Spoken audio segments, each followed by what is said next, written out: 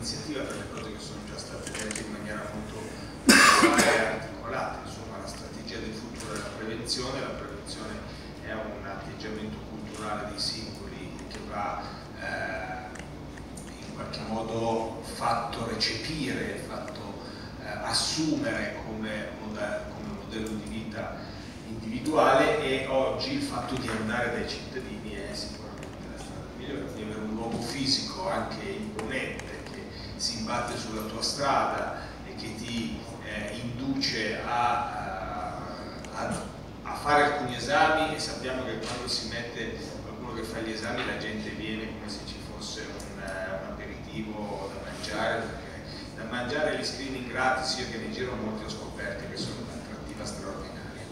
Eh, ma al di là di questo eh, o, o, grazie a questa, questo espediente si iniziano a dare alcuni consigli importanti perché non tutti oggi abbiamo questa assoluta consapevolezza eh, che mangiare bene, che il modo, che fare bene serve eh, complessivamente a tutti. E quindi eh, io però raccolgo l'ultima sollecitazione, visto che ripeto, sul valore della prevenzione l'avete detto, l'avete articolato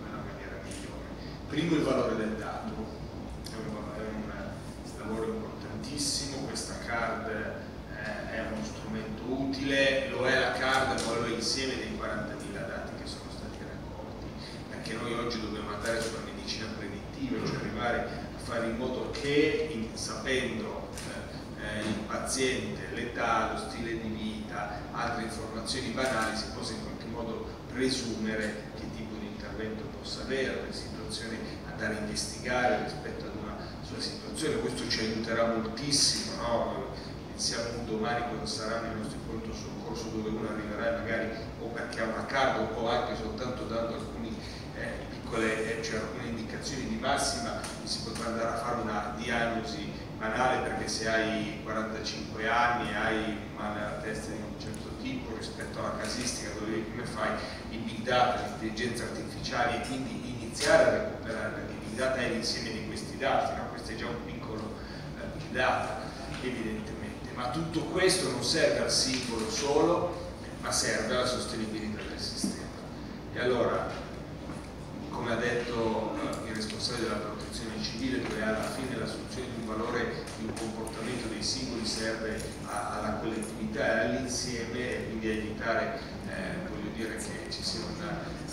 degrado del nostro ecosistema, del contesto in cui viviamo, dobbiamo capire che se noi vogliamo trovarci nella condizione a 90 anni di fronte a un evento molto importante di avere il massimo delle cure gratuite in un sistema sanitario come il nostro, che è universalistico, tutti insieme dobbiamo insegnare ai nostri figli e iniziare noi a comportarci eh, secondo stili di vita virtuosi perché ah, dobbiamo vivere il più a lungo possibile, questo la scienza e la ricerca e l'innovazione sempre di più ce lo consentirà, ma dobbiamo farlo eh, ammalandoci più tardi possibile, eh, con diagnosi tempestive e, e, e, precoci, riuscire a eh, individuare subito la patologia eh, che, che, ci affligge o che è insorgente e essere curati eh, in maniera anche qui altrettanto tempestiva, quindi con corsi